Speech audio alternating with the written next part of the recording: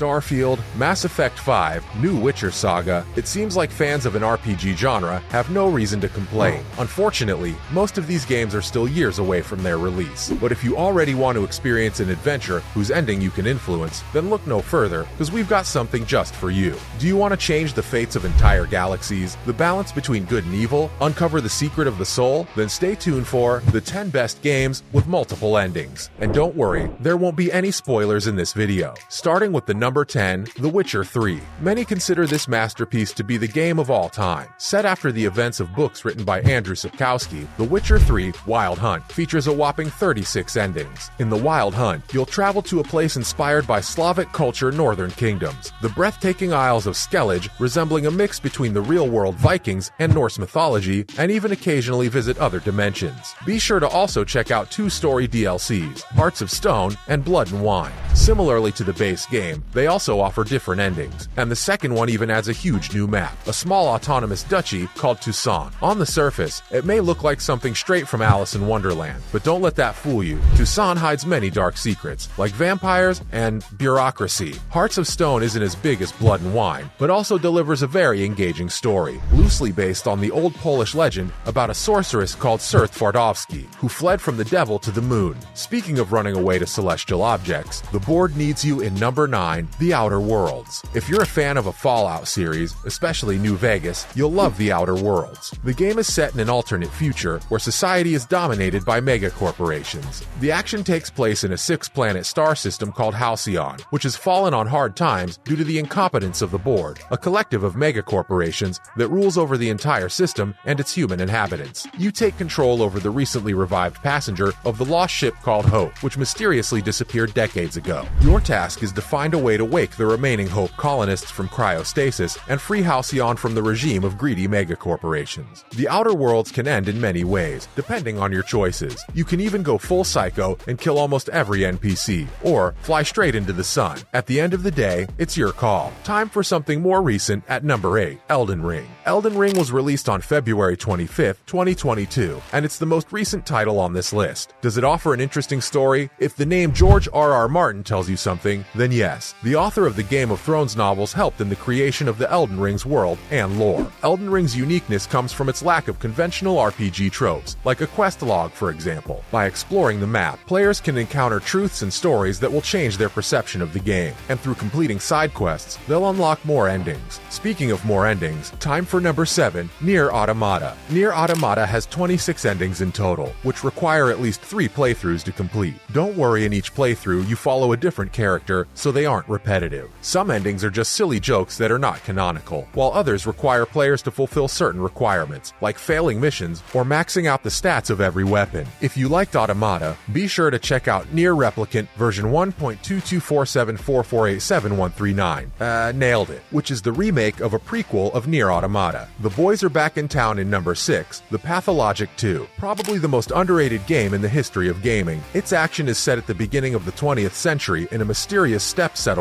called the Town, which is devoured by a deadly plague. The player takes control over a local healer, who has only 12 days to find the cure. What's really interesting about this game is that time really keeps running out. It means that you can just sit down and do nothing for an in game 12 days, and you'll reach the ending either way. But of course, it won't be an ending in which the town survives the plague. Pathologic 2 features many endings, depending on the player's decisions and time management skills. Each NPC can die, and will die if the player neglects his duties. Unique atmosphere, crazy non Euclidean level design, engaging story, crafting, and survival elements, Pathologic 2 is an absolute must have for every hardcore player. I've never asked for this at number 5 Deus Ex Human Revolution. Released in 2011, Human Revolution features 12 different variations of an ending, and everything indicates that all of them are canonical. Set in the year 2027, players control Adam Jensen, a security officer working for a Sarif Industries company, which develops cybernetic implants known as augmentations. After a terrorist attack on the headquarters of Sarif, Jensen is forced to replace most of his body parts with augmentations, which will help him with the investigation of the mysterious organization of the Illuminati. The direct sequel, Deus Ex Mankind Divided,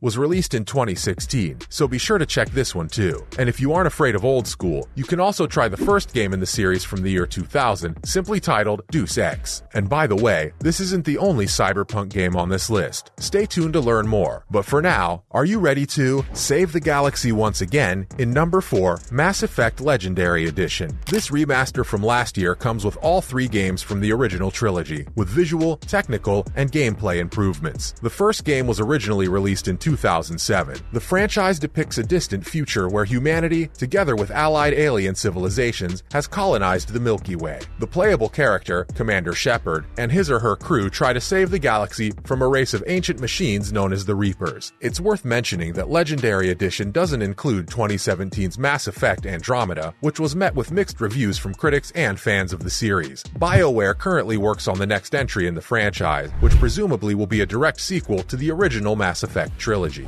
Get ready for a trip to Zone in number 3, Stalker Shadow of Chernobyl, the first game from the popular Ukrainian series, which has its own devoted cult of fans. It was released in 2007 and is loosely based on the novella Roadside Picnic and its film adaptation from 1979 titled Stalker. The series is set in an alternative timeline where the second disaster of mysterious origin occurred at the Chernobyl exclusion zone, causing strange anomalies in the area around it. These anomalies often create within their radius so called artifacts, very valuable items that give the holder various abilities. Shadow of Chernobyl got two sequels Stalker Clear Sky and Stalker Call of Pripyat. Ukrainian GSC Game World currently works on another one titled Stalker 2 Heart of Chernobyl, which should be released by the end of next year. If you want to get into the Stalker universe but don't want to spend any money, be sure to check free, standalone modification Stalker Anomaly, something for fans of steampunk at number 2, Dishonored 2. In this 2016 action adventure game from Arkane Studios, we can play as either Empress Emily Kaldwin or her royal protector and the main protagonist of the first game, Corvo Attano. This time story takes place not in the Grey Dunwall metropole, but in the coastal city of Karnaca, which is plagued by an epidemic of bloodthirsty insects called